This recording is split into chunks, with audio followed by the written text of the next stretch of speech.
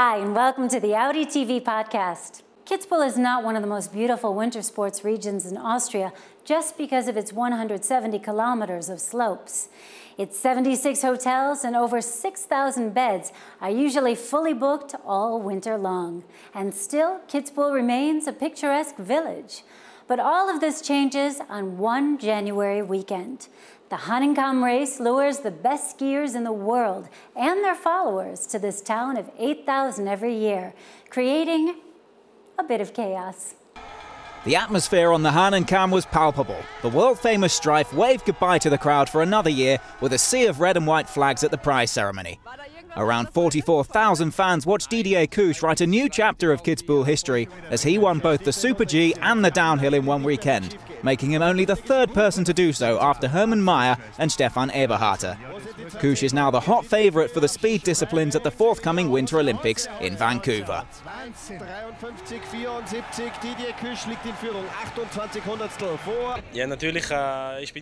Of course I'm in good form, but Whistler is a different mountain, different snow and a different place. There's going to be a lot of pressure, but I'm happy that I was able to come down safely and in such good time here in Kitzbühel. Now I'm looking forward to performing well at the Winter Olympics.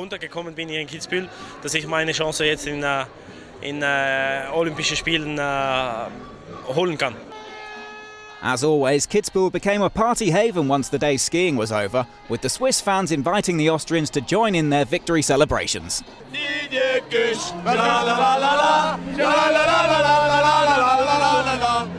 The whole crowd was delighted to have seen the world's best speed skier in action, as were the various guests at the Kitz race party in the VIP tent. Didier has had a great season. He didn't win by chance. The Super G gave him the confidence he needed. I'm happy for him, and I think it's crazy that he managed to win both disciplines, especially on this historic slope. It doesn't matter where you come from, if you can win on that slope, you're amazing. Good on him, the best man won. From an Austrian point of view, it was a bit of a shame, but we'll get another chance. Didier Cuche is very good. Unfortunately, Weishofer crashed, and I was rooting for him. Probably a bad idea because he was the only one who crashed. Still, it's great for Cuche to get the double victory. It's really impressive. The biggest highlight from a German point of view was the final slalom on Sunday.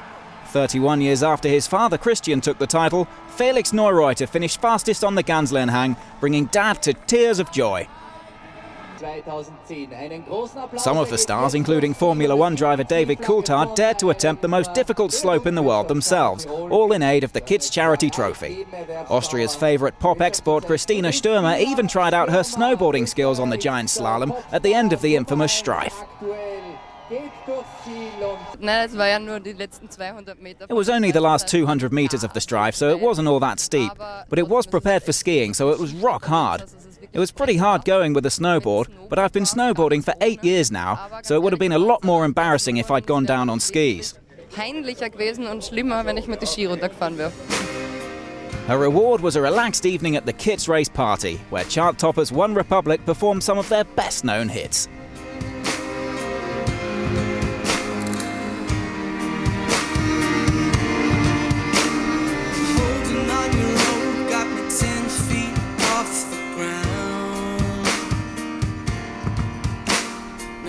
doing what you say, but I just can't make a sound.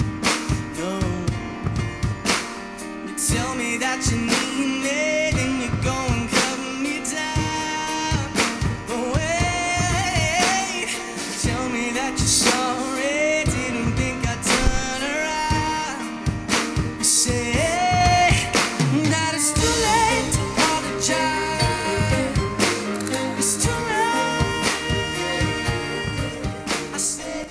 The Colorado based band fell in love with Kitzbühel right from the start.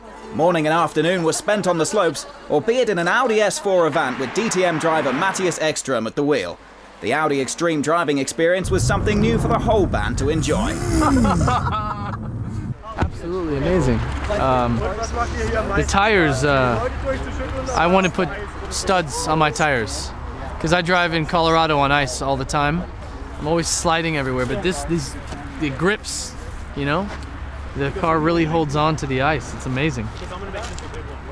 Overall, the 70th Hahnenkamm event was a resounding success. World class sport, perfect weather, great parties with a wonderful crowd, and of course the traditional array of stars. New in 2010 was the Kiz Biz Talk, a discussion about the economy with high caliber guests from the worlds of business and sport.